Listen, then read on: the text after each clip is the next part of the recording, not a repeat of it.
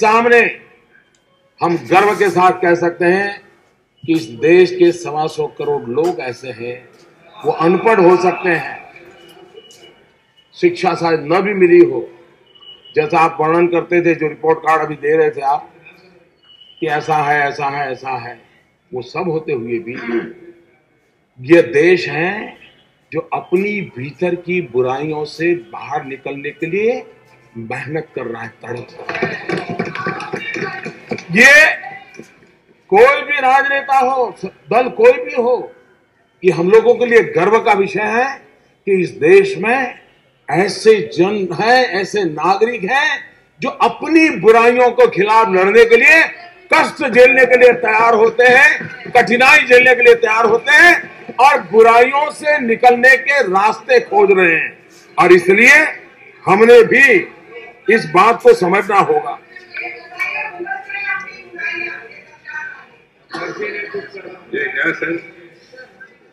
हम ये भी जानते हैं। मेरा एक मिनट सर सॉरी ऐसे चलते रहेंगे क्या?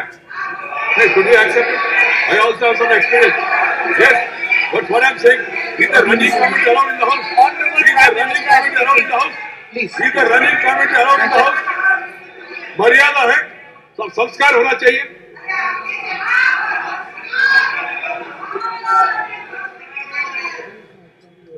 Order, सभापति महोदय जी।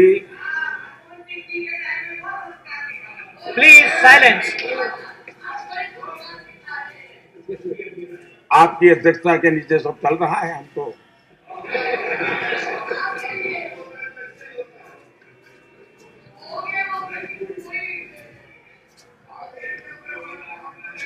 पिछले सत्र में Silence, प्लीज़ मनमोहन सिंह जी ने अपने विचार रखे थे।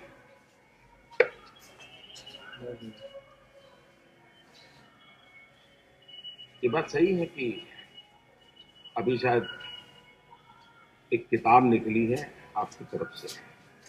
उसकी फॉरवर्ड डॉक्टर साहब ने लिखी है। मैं जब आपका रिपोर्ट देख रहा था, मुझे लगा शायद इतने बड़े अर्थशास्त्री हैं तो किताब में उनका योगदान होगा लेकिन पता चला किताब किसी और ने लिखी फॉरवर्ड उन्होंने लिखी है। तो उनके भाषण में भी मुझे ऐसा लगा उनके भाषण में भी ऐसा लगा शायद ये बात बड़ी समझने की है पिछले करीब करीब करीब करीब करीब करीब तीस पैंतीस साल से शर्मा जी बैठ जाइए. Please sit down. Please sit down. करीब करीब प्लीज़. तीस पैंतीस साल से Please, जो शब्द मैं बोला भी नहीं वो समझ Stop please. Please. Sit down. जो शब्द मैं बोला नहीं उसका अर्थ समझ गए। ये बड़ी गजब की बात है जी। अब डॉक्टर मनमोहन सिंह जी पूर्व प्रधानमंत्री हैं आदरणीय व्यक्ति हैं। और हिंदुस्तान में पिछले 30-35 साल भारत के आर्थिक निर्णयों के साथ उनका सीधा संबंध रहा। और निर्णायक भूमिका में रहा है। पैंतीस साल तक इस देश में शायद ही कोई ऐसा अर्थ जगत का व्यक्ति होगा जिसने हिंदुस्तान के सत्तर साल की आज़ादी में आधा समय एक ही व्यक्ति का इतना दबदबा रहा हो। और कितने घोटालों की बातें आई। लेकिन खास करके हम राजनेताओं ने राजनेताओं ने डॉक्टर साहब से बहुत कुछ सीखने जैसा है।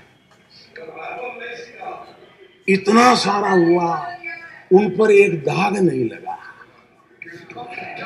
बाथरूम में बाथरूम में रेनकोट पहन करके नहाना ये कला तो डॉक्टर साहब ही जानते हैं और कोई नहीं जानता और इसलिए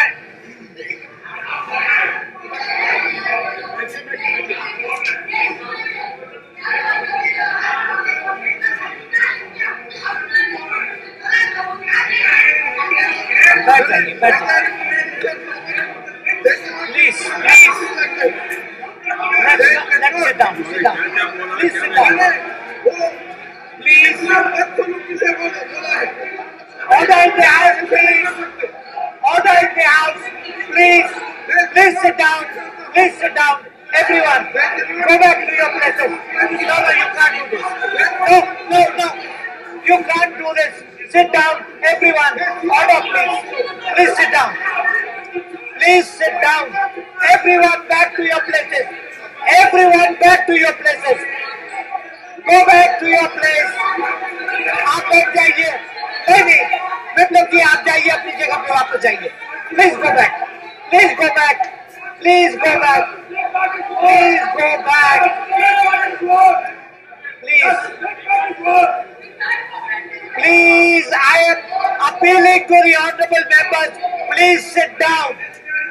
Please. Please.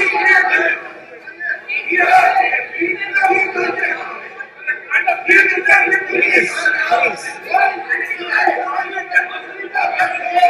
Please. This is not. You can't do this, please. Sit down. Everybody sit down.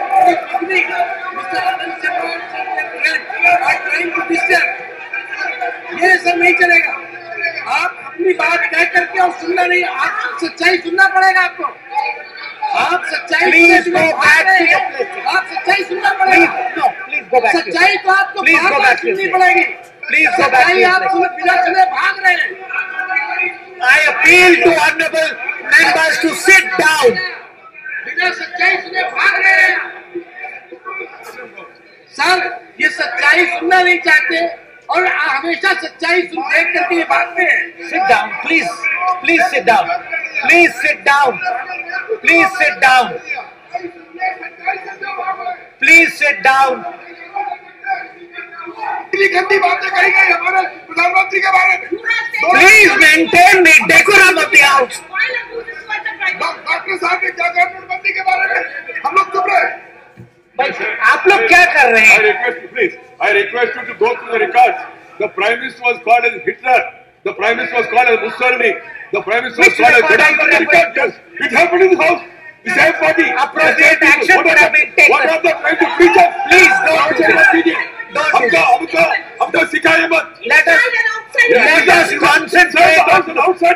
proceedings now. Please vacate the room. I am very sorry, sir. Vacate. I am very, I am very sorry, sir. The chair should keep the sentiments of the all sides of the house. They have insulted the prime Are you suggesting that it is not are you suggesting that? Lord, I never said it. You understand our pain. I understand the Prime Minister, the Prime Minister who has been elected. Will you please sit down, Venkaiah the entire world. Venkaiah please. And these people call Prime Minister Please sit down. They're down. Everybody, everybody sit down. Everybody sit down. No, go back to your place. Just go back to your place. Everybody, everybody sit down. Please. That's enough.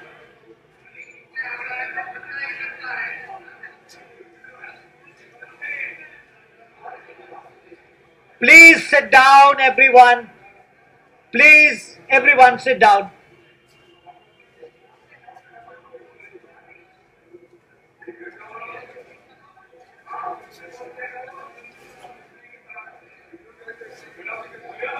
Honorable Prime Minister, please.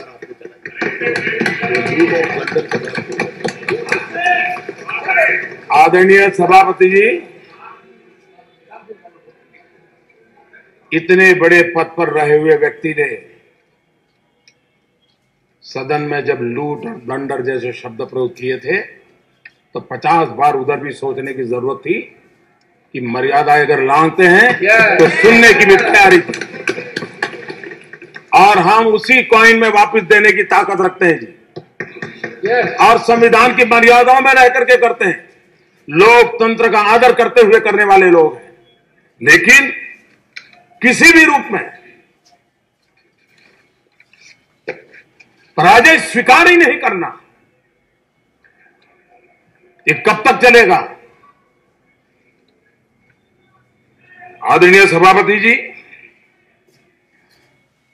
ये बात सही है कि सामान्य जन को आंदोलित करने के बहुत प्रयास हुए।